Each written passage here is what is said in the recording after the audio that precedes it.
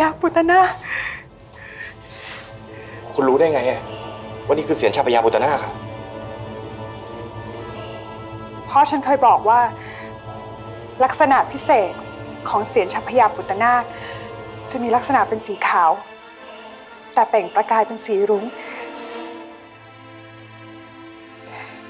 ผมว่าคนทั้งโลกอะมีแค่อาจารย์ปุระ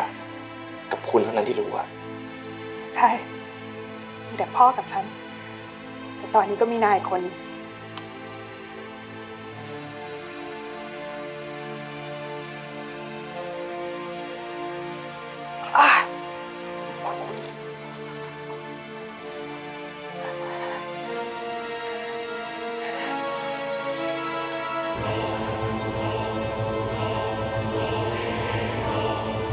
ในที่สุดเราก็ได้พบกัน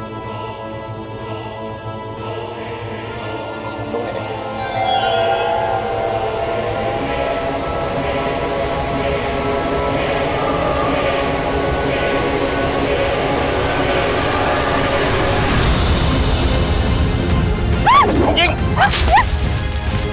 เฮ้ย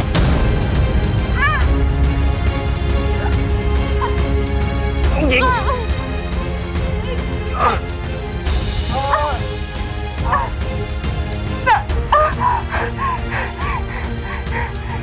เราต้องปล่อยค่ะไม่งั้นเราจะตายกันกันทั้งสองคนนะ ไม่ฉันไม่ยอมปล่อยองค์หญิงไปขึ้นมายิง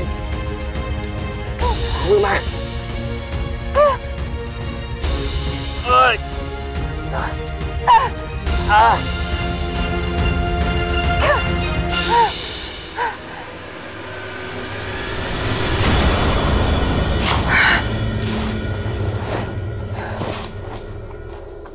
คุณ